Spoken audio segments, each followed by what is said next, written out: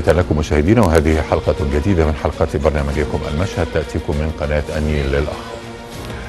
مشهد اليوم ينفتح على لبنان الذي شهدت ساحته السياسية وساحته العمالية تجاذبات كبيرة بدأت أولاها في السجال الذي حدث بين رئيس البرلمان نبيه بري ورئيس الجمهورية ميشيل عون حول اتهامات متبادلة بتعطيل تشكيل الحكومة الجديدة التي من شأنها حسب ما ينتظره العالم أن تخرج بلبنان من الأزمة الحالية. إقفال تام شهدته الساحة العمالية اللبنانية بالإضراب العام التي الذي دعت إليه نقابات العمال بالأمس وشهد تأييدا شديدا من قبل كل المؤسسات العمالية بما فيها أيضا وللغرابة الشديدة المؤسسات وكل الأحزاب السياسية التي شاركت في هذا الإضراب العام اعتراضا على ما قالوا إنه تفضيل للنخبة السياسية على مصالحها الخاصة على المصالح الشعب اللبناني الذي كان ينتظر من تلك النخبة أن تشكل أي ايا كانت حكومة توافقية وتكنوقراطية تخرج بالبلاد من هذه الأزمة الطاحنة الأزمة الاقتصادية التي تمر بها البلاد بالإضافة إلى الأزمة السياسية. رئيس اتحاد العمال بشارة الأسمر انضم إلى هذا الزخم الإضرابي وقال آه هذه النخبة السياسية غير الصالحة لأن تتولى المرحلة الانتقالية في البلاد لعدم اكتراثها بمصالح الشعب آه اللبناني. حول كل ما يحدث في لبنان وحول ما يمكن أن تؤدي إليه أو يؤدي إليه الحراك آه الجديد في الشارع اللبناني وحول إمكانية أن يتفق أو لا يتفق النخبة السياسية في البلاد لتكوين وتشكيل حكومة توافقية تخرج بالبلاد من أزمتها الحالية. ستتمحور هذه الحلقة من برنامج المشهد والتي يشرفنا فيها الأستاذ فادي عكوم الكاتب الصحفي والمحلل اللبناني. مرحبا بك. أهلا بك. مساء الخير. اسمح لنا واسمحوا لنا مشاهدينا بمتابعة هذا التقرير حول هذا الموضوع. نعود بعده لبدء الحوار والمناقشة في هذا الموضوع فكونوا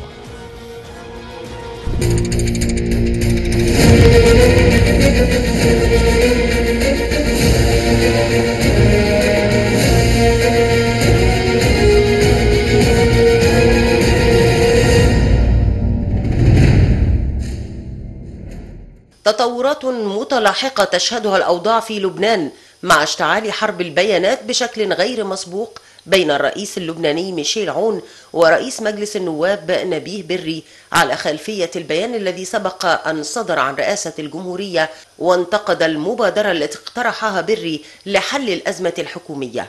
الأزمة السياسية في لبنان شهدت تعقيدا خلال الأيام الأخيرة بعدما كانت الآمال معقودة خلال الأسابيع الأخيرة الماضية على مبادرة رئيس مجلس النواب اللبناني لحل الخلافات بين رئيس البلاد وفريقه السياسي التيار الوطني الحر من جهة ورئيس الحكومة المكلف سعد الحريري وفريقه السياسي في تيار المستقبل من جهة أخرى.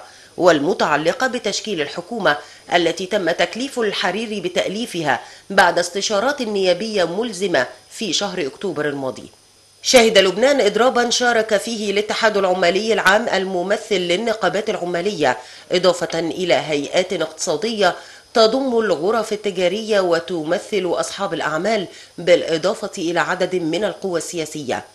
المشاركون في الإضراب يطالبون بسرعة تأليف الحكومة اللبنانية الجديدة برئاسة رئيس الحكومة المكلف سعد الحريري لإنقاذ البلاد من الأزمة الاقتصادية المتفاقمة. كما أن الهدف من الدعوة للإضراب هو الاحتجاج على تفاقم الأزمة السياسية والمعيشية على مختلف المستويات. تقف لبنان أمام مفترق طرق بالغ الصعوبة والخطورة بعد تفاقم الأزمات السياسية والاقتصادية مما ينذر بإشعال اضطرابات اجتماعية في البلاد.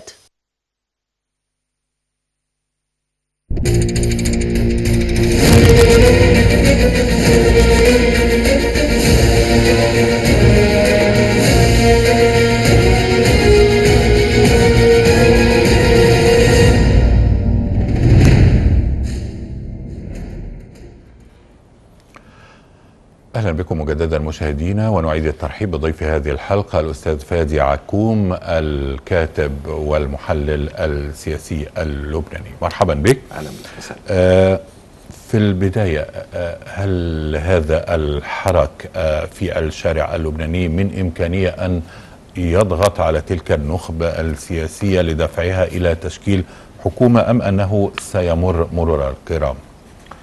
اولا مساء الخير. ثانيا يعني ما جرى أمس في لبنان فينا نعتبره آه، كوميديا سوداء.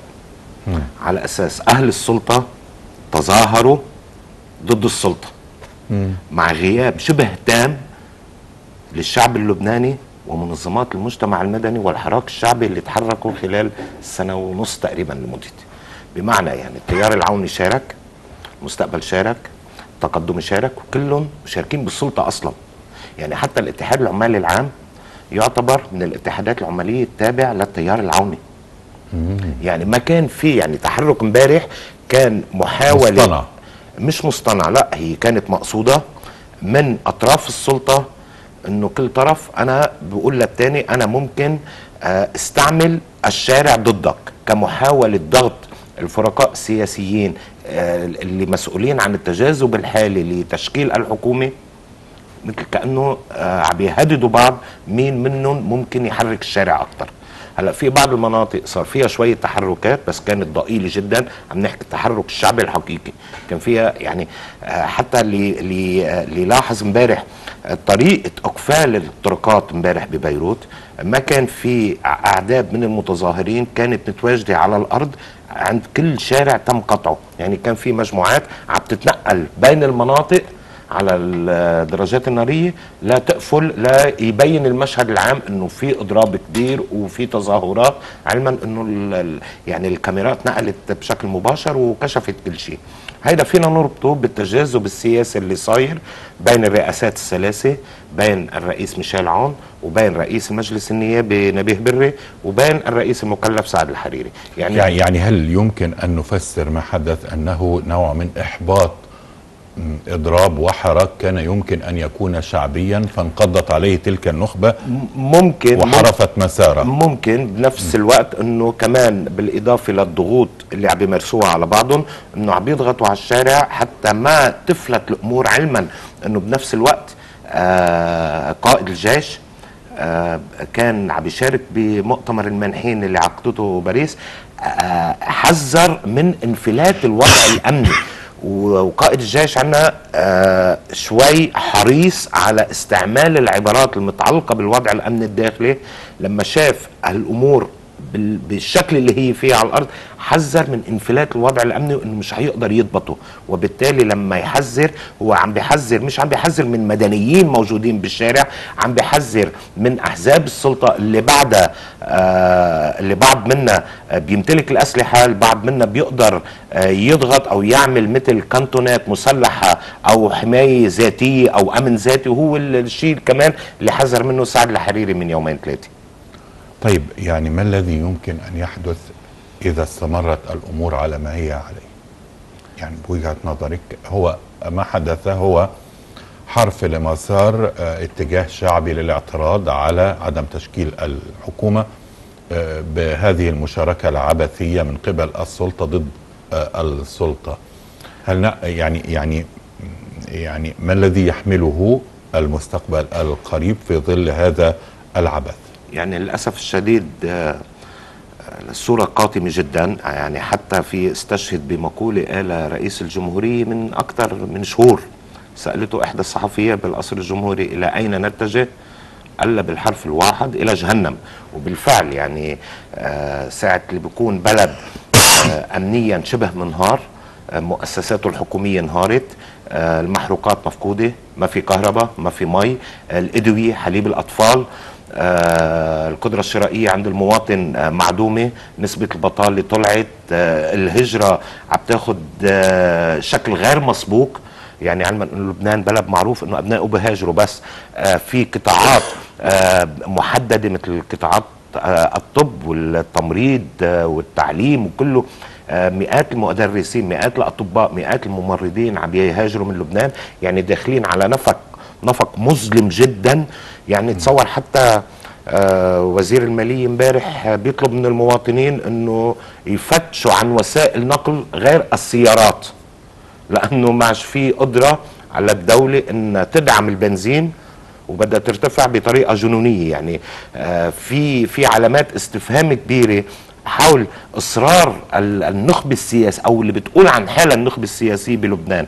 آه انها تحافظ على مكاسبها ومواقعها السياسية بظل هيدي الأزمة الخانقة اللي حذر منها البنك الدولي انه أزمة غير مسبوقة مش بس بلبنان حتى على مستوى العالم تعتبر من أقصى درجات الخطر ممكن أي دولة توصل لها يعني حتى أخطر من الأزمة اليونانية أخطر من أي أزمة تانية ممكن تصير لأي دولة حول العالم. طيب آه، هل هناك اتهامات أو هل هناك أصابع اتهامات تشير لقوى إقليمية أو دولية آه، من مصلحتها استمرار الوضع اللبناني على ما هو عليه؟ يعني الكل بيعرف إنه آه كل الفرقاء اللبنانيين آه، من دون استثناء تابعين لجهات خارجية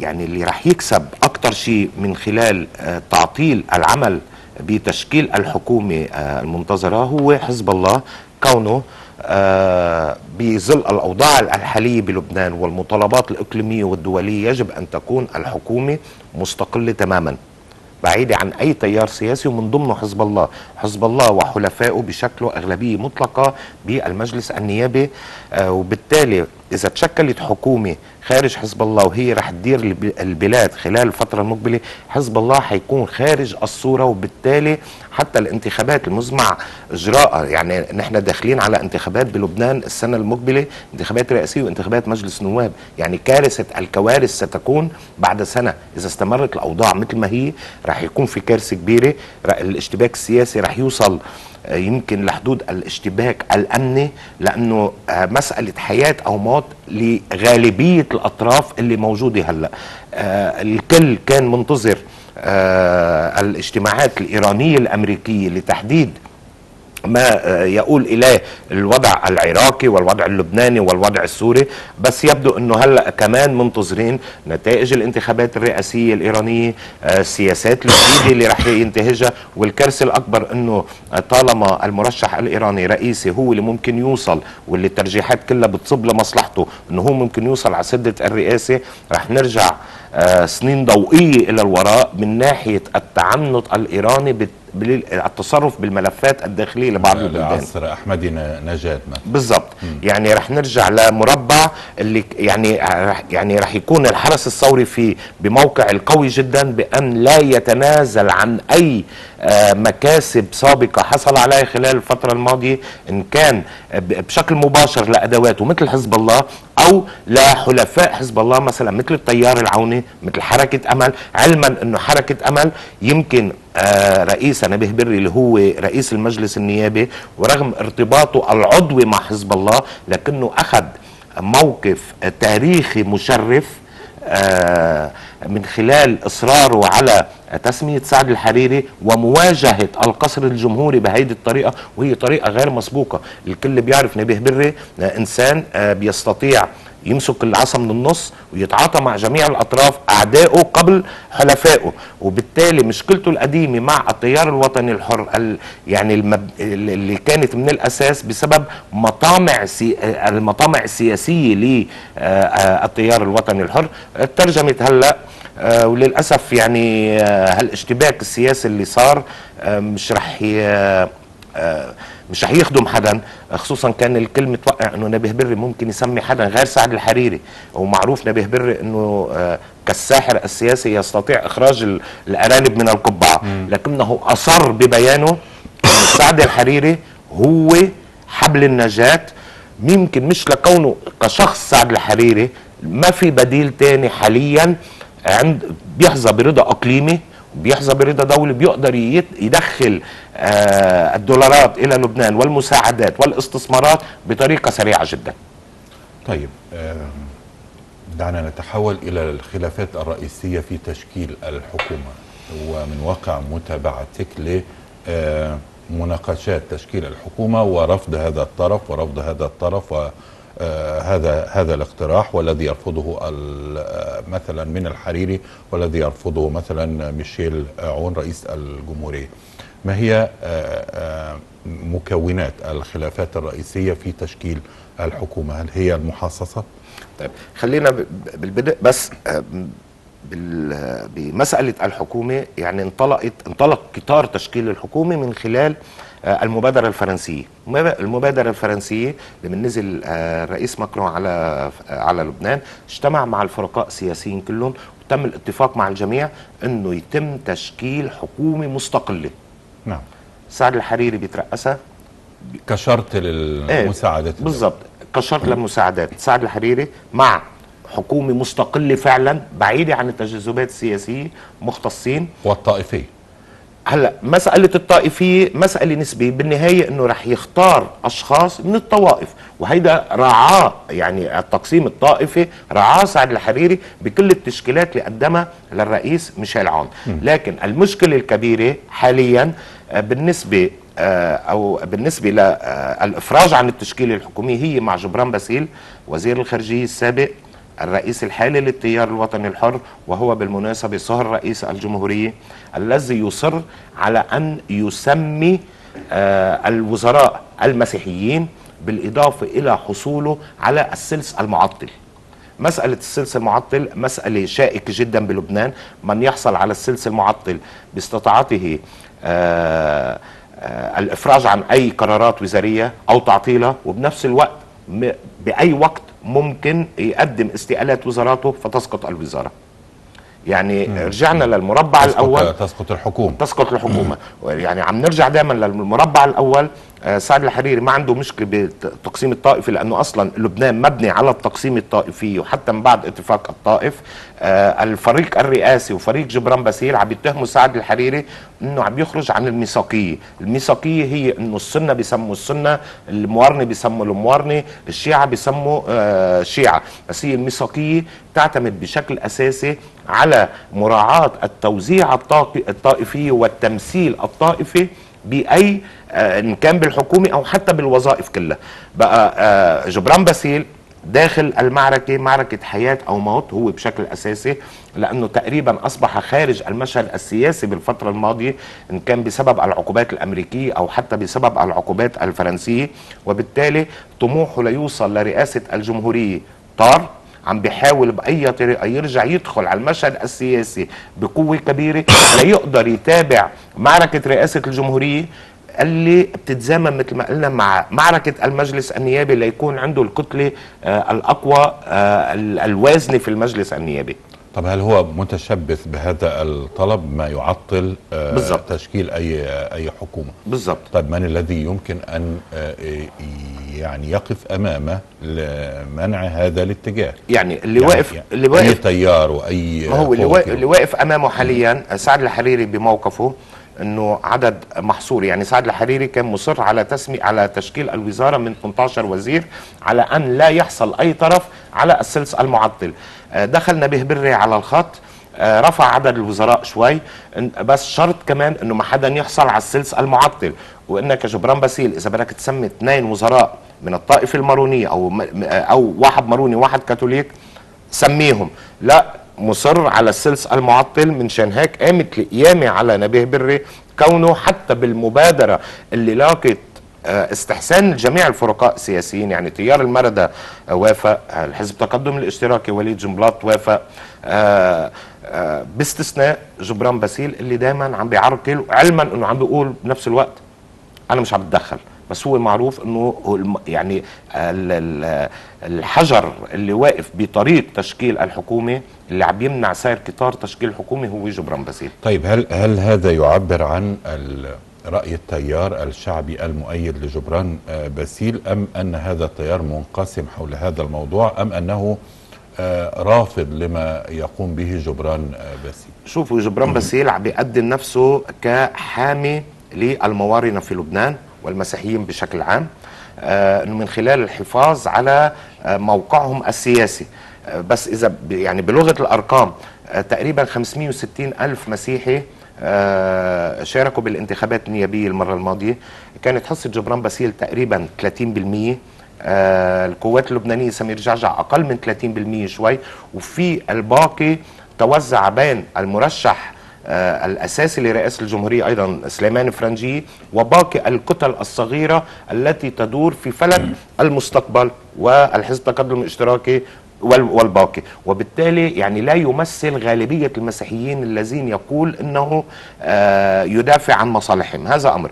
يوجد خلافات قوية جدا داخل التيار الوطني نفسه خصوصا من الرعيل الأول الذي كان مع الرئيس ميشيل عون في بداياته يعني عندما تصادم مع الجيش السوري في لبنان وعندما آه، تم نفيه إلى فرنسا هم الذين أسسوا التيار الوطني الحر يعارضون سياسة باسيل خلال هذه الفترة. وتم إقصاء العديد من القيادات آه، في الفترة الأخيرة خصوصا بعد بدء الحراك على الأرض.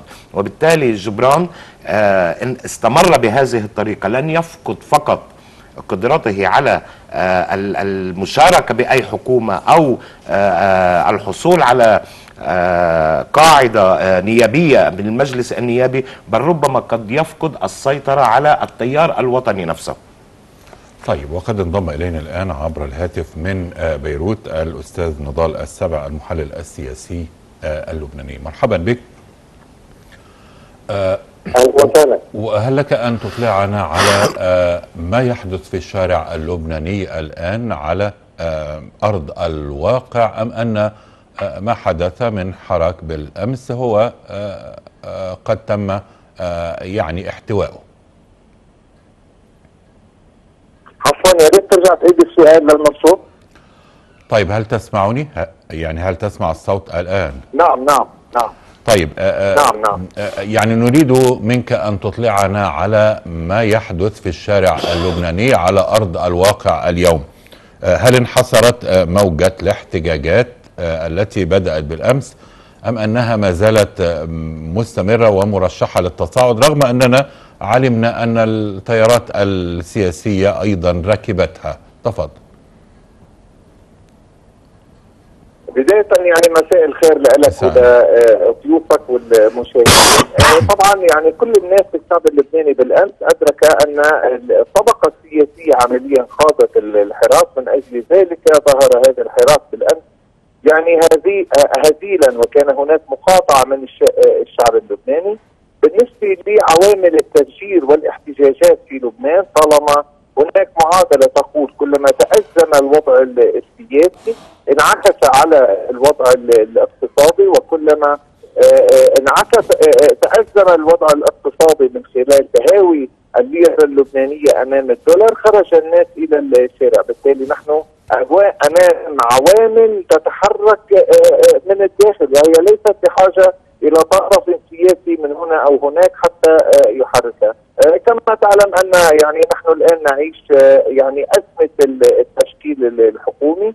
الوزير جبران باسيل يعني آه، يريد ضمانا لمستقبله السياسي خاصة أنه يعني الآن اللبنانيين في ظل هذه ال- الأزمة يحملون العهد ويحملون جبران باسيل مسؤولية التعطيل آه، ويتحمل جزءا كبيرا من الأزمة. صحيح أن هذا العهد الحالي برئاسة آه، الرئيس ميشيل عون لا يتحمل منفردا الأزمة الاقتصادية ولكن الصحيح أيضا أن هذا العهد يعطل كل الحلول ويمنع تشكيل الحكومة. في حال تم تشكيل هذه الحكومة وفق المبادرة الفرنسية كان من المفترض أن تأتي مساعدات إلى لبنان من خلال مؤتمر فيدر والذي أقر 11 مليار دولار وهذا كان يعني كفيل بانتشال لبنان بشكل آه، مرحلي آه، من أزمته الاقتصادية وأن لا نصل إلى هذا الوضع المزري.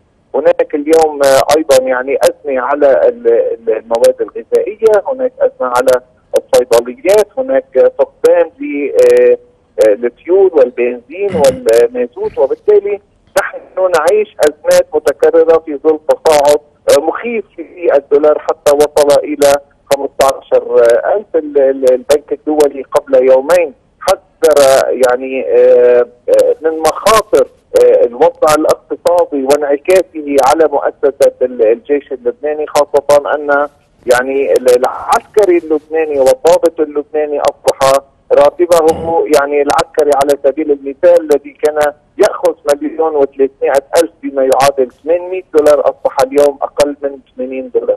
فبالتالي عمليا معنويات الجيش يعني آه، ليست جيدة. العسكري يعني آه، يعاني من أزمة اقتصادية كبيرة في ظل يعني عدم قدرة الجيش على تأمين الطبابة و اتخاذ قيادة الجيش قرارات بوقف اللحوم.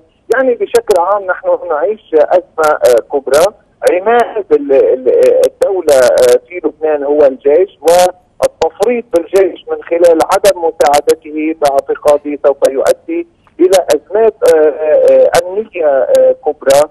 ربما يعني تفجر هذا الأمر ويعني تحلل الجيش وعدم انخراط العناصر بوحداتهم سوف يضعف قدرة الجيش على ضبط الوضع الأمني في الداخل مما يؤدي أولا إلى توترات أمنية في الداخل مما يؤدي أيضا إلى عدم قدرة الجيش على ضبط الحدود اللبنانية وخاصة هناك خشية أوروبية من انفلات الأوضاع في الجنوب اللبناني في حال ضعفت قدرة الجيش أيضا آه، من خلال يعني تدفق آه، آه، اللاجئين السوريين والفلسطينيين بالإضافة للبنانيين باتجاه أوروبا نتيجة الوضع الاقتصادي الحالي طيب كيف تفسر ما حدث من سجال بين قيادتين من معسكر واحد نبيه بري رئيس مجلس النواب وميشيل عون رئيس الجمهورية طب.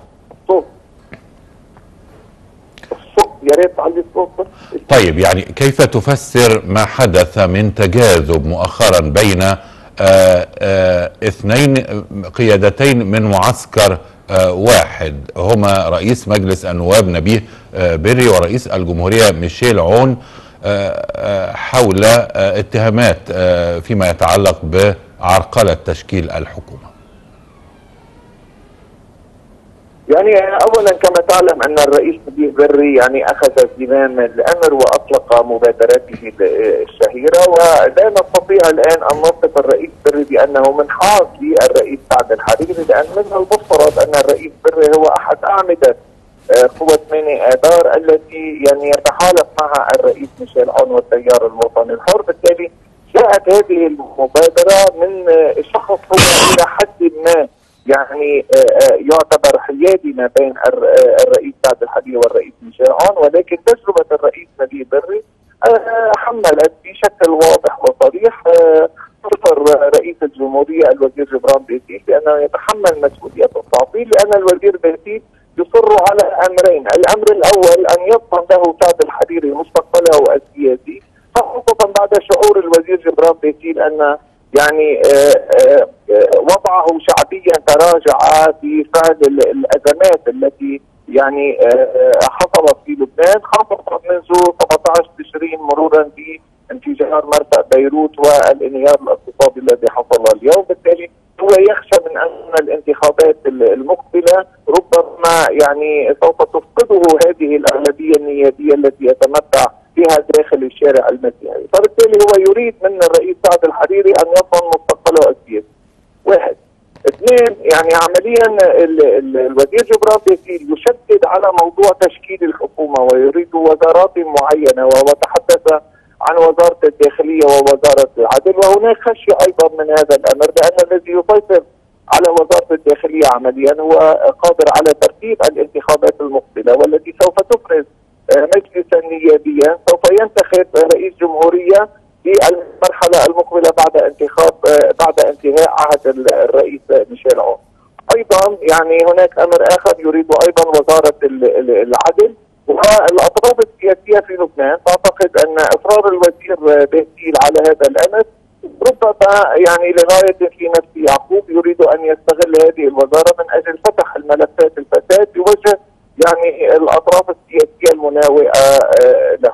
فبالتالي عمليا آه، أيضا هناك الأمر الآخر يعني مبادرة الرئيس بري التي انطلقت بداية من المبادرة الفرنسية والتي كانت تنص على 18 وزير يعني بضمن احتجاج التيار الوطني الحر والوزير جبران بيطير على هذا العدد والمطالبة الملحة والمستمرة بزيادة العدد إلى 24 وافق الرئيس نبيل بري على وزارة من 24 22 وزير مع أنها باعتقادي لا تلبي المطلوب لأن المطلوب في هذه المرحلة هي حكومة مصغرة حتى تمر آه، القرارات وحتى لا ندخل في تجاذبات السياسيه ولكن من أجل إنجاح ال- ال- ال- التشكيل ال- ال- الحكومي وافق الرئيس بري على هذا الأمر ووصل إلى 24 على أساس أن يكون كالتالي. آه، ثمان وزراء للرئيس نديم بري وحلفائه من حزب الله وقوة من آذار وثمان وزراء أيضا للرئيس ميشيل عون وطريقه السياسي وثمان وزراء للرئيس سعد الحريري. عمليا يعني بعد أن تم الاتفاق على هذا الأمر وجدنا أن الوزير جبران باسيل يطالب بالوزيرين المسيحيين الذين هم على قائمة الرئيس سعد الحريري. وهو تذرع أن رئيس الوزراء السني سعد الحريري لا يستطيع أن يسمي وزيرين مسيحيين. مع العلم أن يعني من ضمن من وزراء هناك وزيرين مسيحيين. يعني الرئيس سعد الحريري من المفترض أن يسميهم. طبعا في حال يعني قام ال- الوزير جبران باسيل بتسمية هؤلاء الوزيرين عمليا سوف يحصل على ثمان وزراء مسيحيين آه، من آه، آه، من آه، تحالف آه، رئيس الجمهورية بالإضافة للوزيرين عمليا 10 وزراء من 24 وزير بالتالي حصل الوزير جبران باسيل على الثلث المعطل ماذا يعني هذا الأمر؟ هناك خشية لدى الرئيس عبد الحريري أنه في حال حصل الوزير جبران باسيل على عشرة وزراء والثلث المعطل بالتالي سوف يعني يفجر الحكومة ويعطلها من الداخل بعد شهر ويتحول الرئيس سعد الحريري من رئيس يعني آه، آه، مكلف على رأس ال- الوزارة إلى آه، آه، رئيس وزراء آه، يسير ال- الأمور وهذا آه، الذي لا يريده الرئيس سعد الحريري نعم المحلل عفوا المحلل السياسي اللبناني نضال السابع كنت معنا عبر الهاتف من بيروت. شكرا جزيلا لك. آه، هل هناك من تعليق حول ما قال بتحكي مش بس مع الزميل نضال مع عشرات الصحفيين بلبنان بتحس نفس الكلام يعني إنه آه يعني خلص الأوضاع صارت مكشوفة يعني. آه بالفترة اللي سبقت كان ممكن يكون في بعض التباين أو التعارض بالآراء وبالتحليلات. بس هلا خلص صارت الأمور آه، مكشوفة للجميع والكل عم بيصب بنقطة واحدة وصار معروف ال- السبب آه، لسبب العرقلة. يعني يعني في أمر مش طبيعي إنك آه، مصر إنك تكفي طريقك على الهاوية لمجرد الأطماع السياسية. طيب هن بيقولوا كمان إنه سعد الحريري عنده أطماع وعنده طيب تنازل وخلي سعد الحريري يستلم الحكومة ويألف ويشتغل. إذا ما إذا ما جاب أموال وما جاب استثمارات حاسبه. ساعتها أنت والشعب رح يكون الشعب بإيدك أصلا حتى ترجع تقلب على سعد الحريري. يعني هن الحجة إنه سعد الحريري ضعيف سعد الحريري ما عنده تقل دولي سعد الحريري كذا سعد الحريري كذا. طيب وبعدين؟ ما هو المجتمع الدولي والمجتمع الإقليمي عم بيقول بدنا حكومة بقيادة سعد الحريري مستقلة.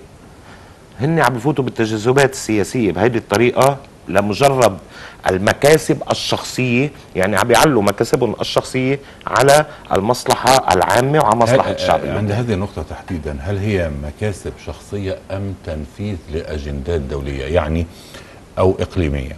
يعني إذا تحدثنا وقلنا إن حراك الشارع السابق كان لإقصاء كل هذه النخبة التي وصفت بالفاسدة والتي وصفت بأنها تمتص ثروات لبنان ولا تراعي مصالح الشعب. هذه النخبة عادت من جديد وبأقوى من الأول وكأن ثورة مضادة انتصرت على ثورة حقيقية وحولتها إلى مجرد آه، انتفاضة والآن يجر لبنان أنت تقول أن كل هذه الأطراف لديها داعم إقليمي أو صحيح. دولي صحيح هل يجر لبنان إلى منطقة معينة آه، عن طريق هذه الأطراف التي عادت بأقوى من الأول ويضغط على لبن- لبنان اقتصاديا؟ مثلا نحن نرى اتجاه كبير في المنطقة للتطبيع مع إسرائيل وحتى لبنان آه، اقتيد إلى ترسيم حدود بما يعني اعتراف ضمني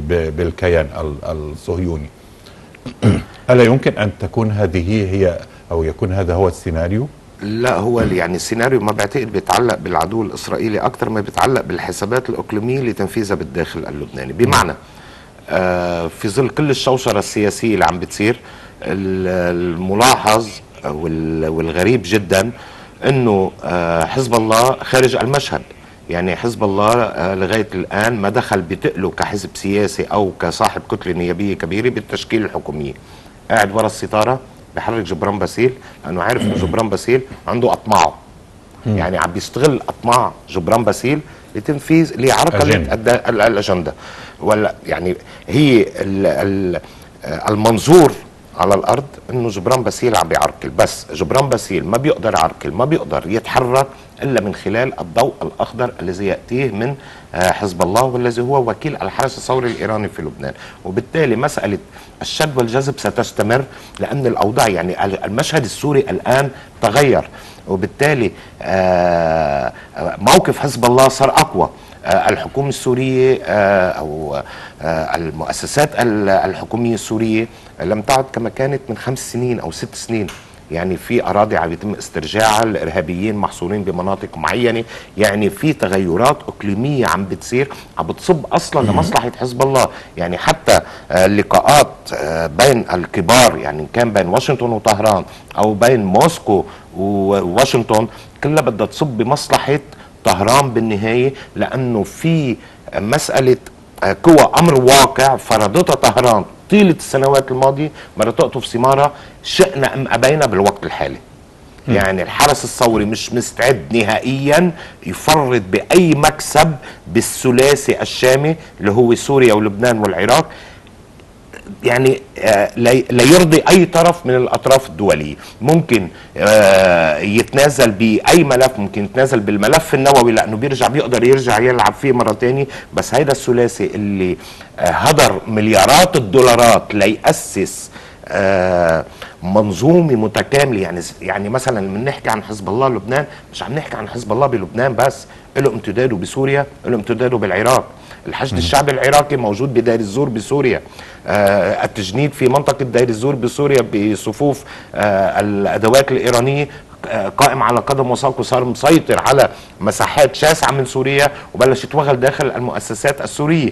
يعني بالتالي في منظومة لإيران لبنان عم بيدفع ثمنها. هلأ كل ما ترتفع المطالبات الدولية بإبعاد لبنان عن الدائرة الإيرانية سيستمر التأزيم في الداخل اللبناني إلا أن تم الاتفاق أنه سلموا لبنان لإيران ي- يعني أنت تصف الآن بامتياز آه، احتلال بالوكالة هو احتلال يعني بالوكالة، بلد صح. محتل صح. بال بالوكالة صح. وفيما يبدو أنه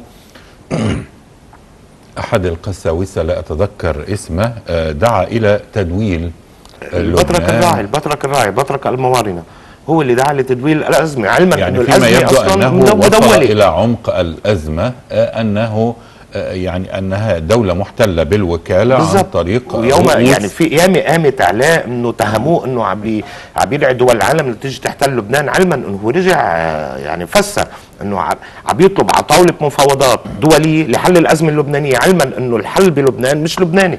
بده يتم عبر الكبار شئنا أم أبينا.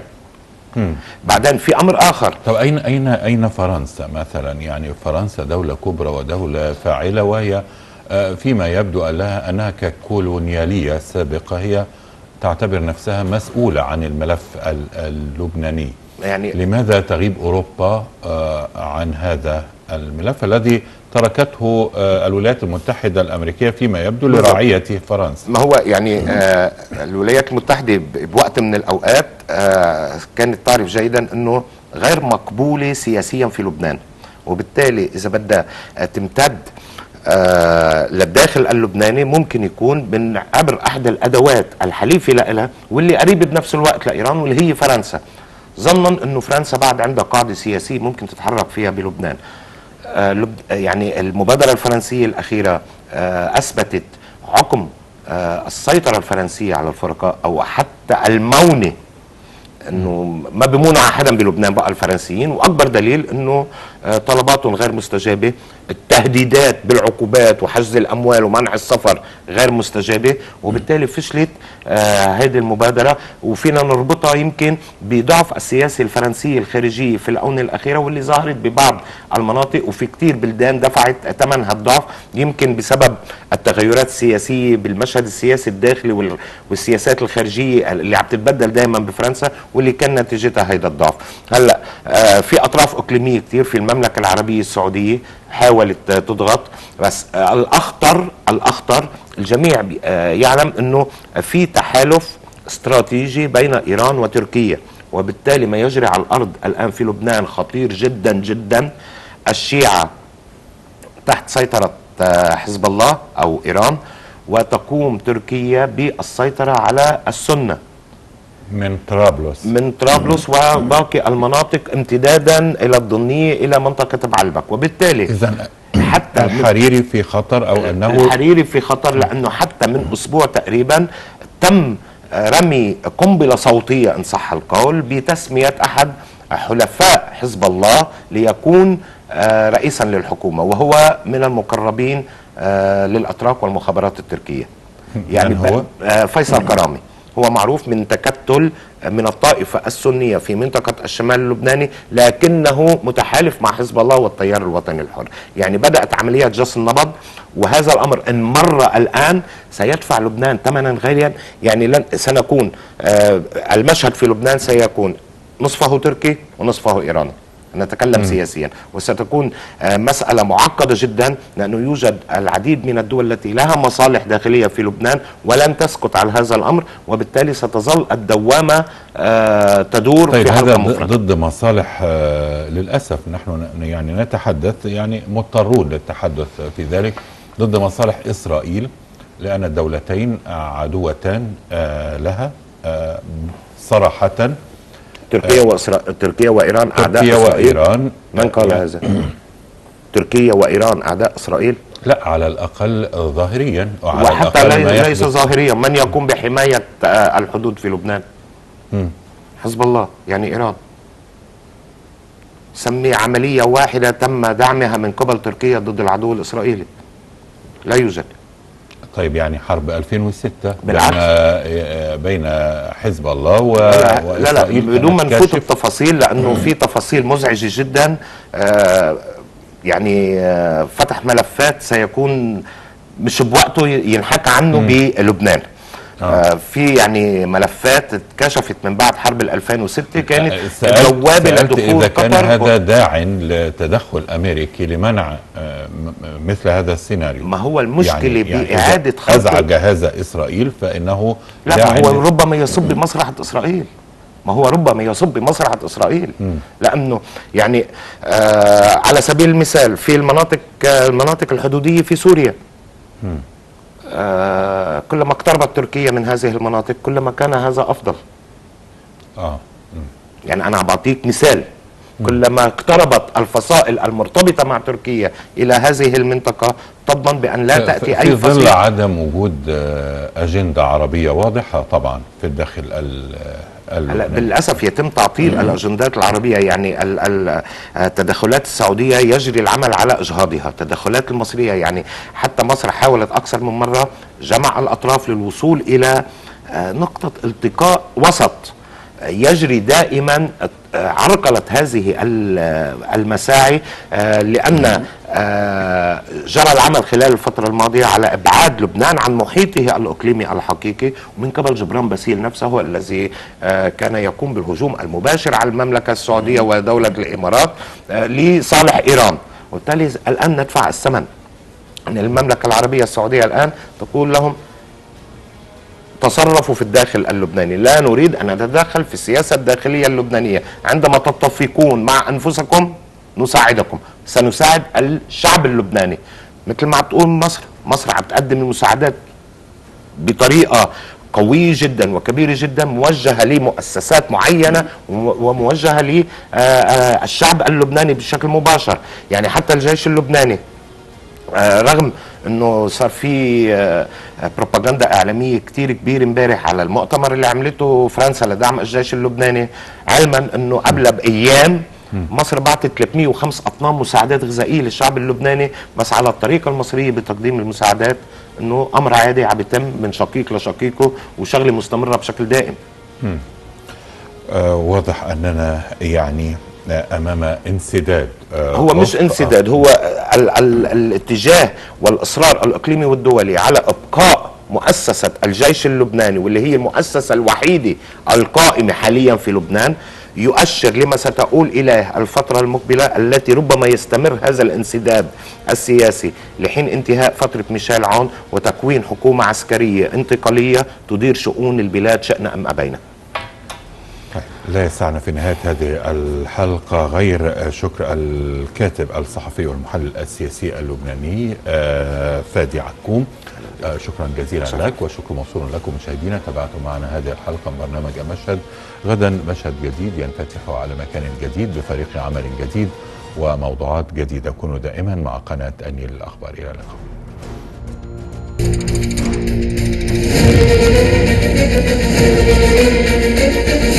Thank you.